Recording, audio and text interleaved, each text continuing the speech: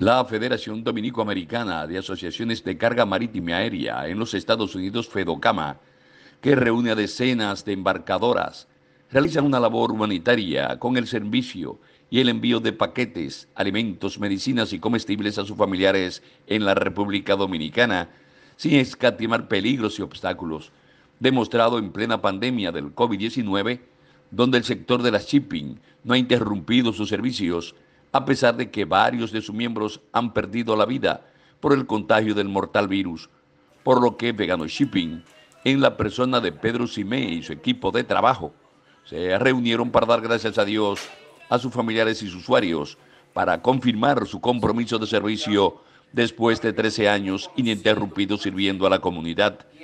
Yo creo que nosotros, con el esfuerzo que hemos hecho durante tantos años de ser, em, de empeñarnos en buscar que el dominicano de aquí pueda ayudar al dominicano de allá, ha valido la pena. Yo creo que ahí está el resultado. La gente ha asimilado el servicio que hemos dado, le ha gustado. Para nosotros los clientes es lo más importante porque sin clientes no hay empresa. Entonces le estamos muy agradecidos con, con todos los dominicanos que nos han apoyado bastante.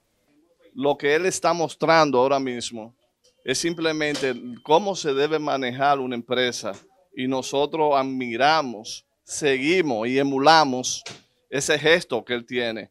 Que tengo un par de años enviando cajas para Santo Domingo y nunca me ha faltado nada. Ha mandado personas aquí, me han dicho que lo han tratado bien, distinto a otros sitios.